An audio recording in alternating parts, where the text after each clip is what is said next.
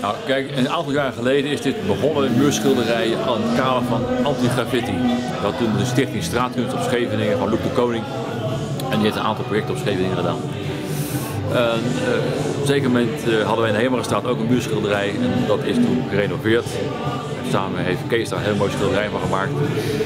En dat is zo goed bevallen dat Arie Spaans, een van de jongens die hier woont, die heeft gevraagd, Johan, kan bij onder de poort ook niet zo'n muurschilderij, want het is een vieze poort, lelijk en altijd wordt er rommel geplast enzo- enzovoort. Nou ja, dan maak je een plan. Je gaat eh, naar Kees toe. Kees maakt eens een leuk ontwerp. Vervolgens ga je naar het stadsdeelkantoor en eh, ja, vraag je, is daar wat subsidie voor? Ja, super dat jullie er allemaal vandaag zijn. Eh, ik zat net tegen Hans zeggen, een jaar geleden hadden we ook een hele mooie activiteit. Gingen we het plein, Prins Willemplein openen. En toen hadden we denk ik 25 graden, strak blauwe zon. En dat was een ietsje andere temperatuur dan vandaag. Ik hoop dat u het wil ontvangen, eigenlijk het schilderij aan u geven. En ik hoop dat u het mooi genoeg vindt om het elke dag nog eventjes een eh, blik waarde te eh, schenken. En eh, te zorgen dat het ook nou ja, zo schoon en heel blijft, zoals het er nu bij staat. En ik eh, ga zo meteen het eh, schilderij aan u overhandigen als bevolking van, van Scheveningen. Maar ik geloof dat ik eerst nog een tegel in de stoep moet slaan. Samen met de kleindochter van Arie Spaans. Dus ehm, ik weet niet waar de kleindochter is. Daar is de kleindochter. Dus ik ga vandaag eerst eventjes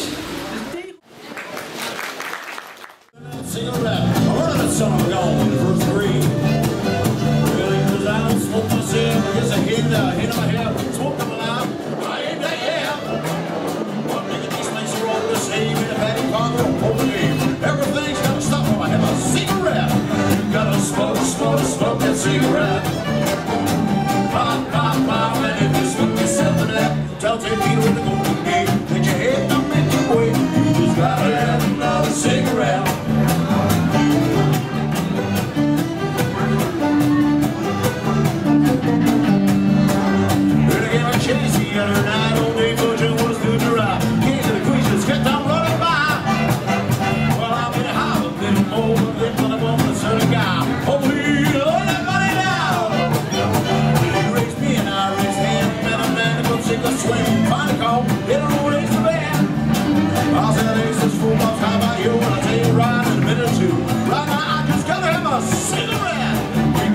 somos.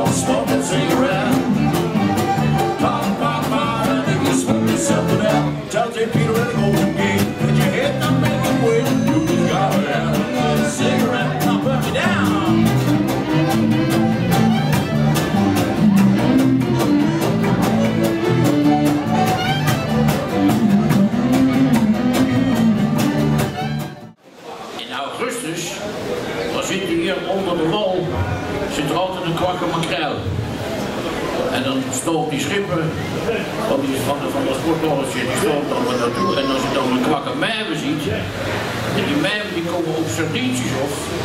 En daaronder, en die makreel die zit weer op die sardientjes te jagen. Dus dan stoot die vliegende er naartoe. En dan weet je dat er een schone makreel zit. Mag ik jou vragen, wat kom jij hier doen? Nou, tegen jou gezet hebben ze mij gevraagd om hier een klein stukje te vertellen over de visserij. Oké, Maar eh, ja, het, het is koud en eigenlijk, het ligt er nog achter teelt. het is een tochtgat. Nou, schat. Ja. Maar ja, we krijgen een bakje en je kan een heringje krijgen. Dus wat wil je nog meer, niet dat? Meer willen we niet. Nee. En wat En, vind eh, je daarvan?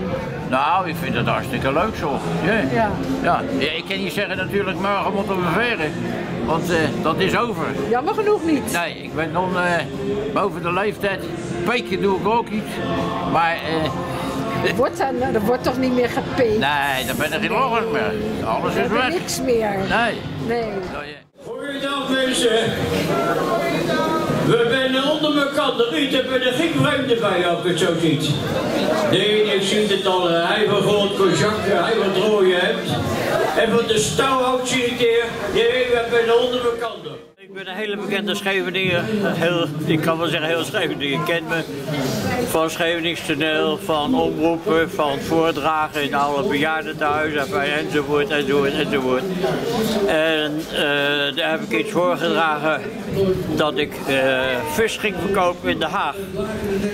En daar heb ik net voorgedragen. Ja, want eh, hoe was dat, visverkoop in Den Haag? Eh, nou, ik heb, ik heb nu met Scheveningse mensen doen als met die Haagse kak hoor. Ja, capsones hebben ze. Nou, nou. eh, ja, wij zijn maar gewone mensen. Het is de geschiedenis van al die boten die je van net voor de oorlog en na de oorlog gezien hebt in de haven en die nu verdwenen zijn eigenlijk. Want het zijn nu twee hele grote schepen eigenlijk die er nog liggen. En zo is het eigenlijk ontstaan. Ik heb het in de maand oktober geschilderd. Heel koud, net zoals nu.